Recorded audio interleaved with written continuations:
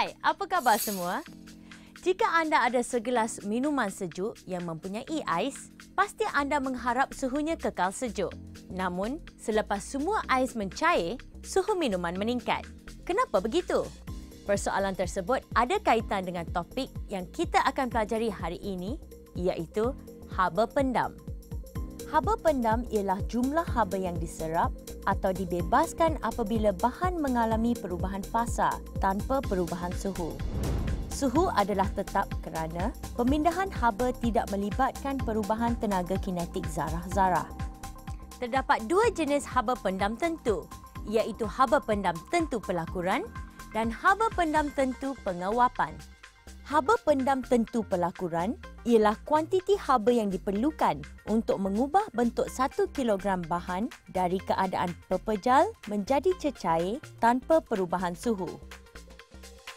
Haba pendam tentu pengawapan ialah kuantiti haba yang diperlukan untuk mengubah bentuk 1 kilogram bahan dari keadaan cecair menjadi gas tanpa perubahan suhu. Jadi jelaslah bahawa suhu meningkat setelah ais mencair kerana terdapat perubahan fasa sepenuhnya. Saya akan terangkan proses tersebut melalui lengkung pemanasan dan penyejukan. Lengkung pemanasan AB Haba yang diserap oleh pepejal menyebabkan molekul bergetar lebih cepat. Tenaga kinetik bertambah dan suhu meningkat.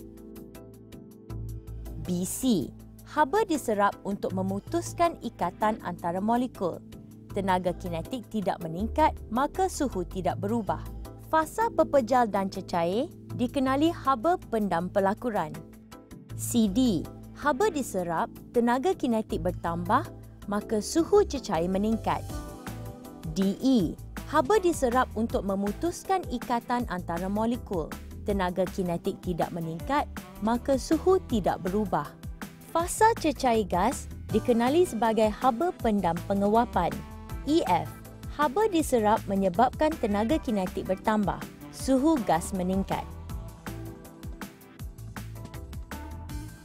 Sekarang, kita kaji pula perubahan fasa dan haba pendam yang terdapat dalam lengkung penyejukan. Lengkung penyejukan. PQ, haba dibebaskan menyebabkan tenaga kinetik berkurang maka suhu juga menurun. QR, haba dibebaskan untuk menguatkan ikatan antara molekul, tenaga kinetik tidak berkurang, maka suhu tidak berubah. Fasa cecair gas dikenali sebagai haba pendam pengewapan. RS, haba dibebaskan menyebabkan tenaga kinetik berkurang, maka suhu menurun. ST, haba dibebas untuk membentuk ikatan antara molekul yang lebih kuat. Tenaga kinetik tidak berkurang, maka suhu tidak berubah. Fasa pepejal cecair dikenali haba pendam pelakuran. T. U. Haba dibebas menyebabkan tenaga kinetik berkurang. Suhu pepejal menurun. Terdapat formula yang boleh menyelesaikan masalah berkaitan haba pendam tentu iaitu Q sama dengan ML. Mari kita lihat contoh soalan bagi kertas satu. Soalan satu. Pada tahap manakah haba pendam tentu dibebaskan? A. VW dan XY. B. WX dan YZ. C. VW dan YZ. D. WX dan XY. Jawapan B. Soalan 2. Apakah kesan ke atas haba yang diserap oleh air di antara S dan T? A. Melemahkan daya di antara molekul air. B. Memecahkan ikatan di antara molekul air. C. Meningkatkan tenaga kinetik molekul air. D. Menguatkan ikatan di antara molekul air. Jawapan B. Soalan 3. Jika haba pendam tentu pelakuran ais ialah 3.3 darab 10 kuasa 5 joules sekilogram, hitungkan jumlah haba yang dibebaskan semasa 300 gram air pada suhu 0 darjah Celsius membeku. A. 9.9 darab 10 kuasa 2 joules. B. 9.9 darab 10 kuasa 8 joules. C. 9.9 darab 10 kuasa 6 joules. D. 9.9 darab 10 kuasa 4 joules. L iaitu haba pendam tentu pelakuran ais. L sama dengan 3.3 darab 10 kuasa 5 joules sekilogram. Jisim M sama dengan 0.3 kilogram. Berapakah Q? Q sama dengan M darab L. Q sama dengan 0.3 darab 3.3 darab 10 kuasa 5. Maka Q ialah 9.9 darab 10 kuasa 4 joules. Jawapan D. Kita lihat pula contoh soalan bagi kertas 2. Rajah menunjukkan keadaan awal dan keadaan selepas 3 minit air dididihkan oleh suatu pemanas elektrik berkuasa 1500 watt. A. Apakah yang dimaksudkan dengan suhu? Jawapan, suhu ialah darjah kepanasan. B. Nyatakan satu sebab suhu tidak meningkat walaupun haba dibekalkan. Jawapan, haba yang dibekalkan digunakan untuk memecahkan ikatan antara molekul. C. Hitung tenaga haba yang dibebaskan oleh pemanas rendam dalam masa 3 minit. Jawapan Kuasa P sama dengan 1500 watt.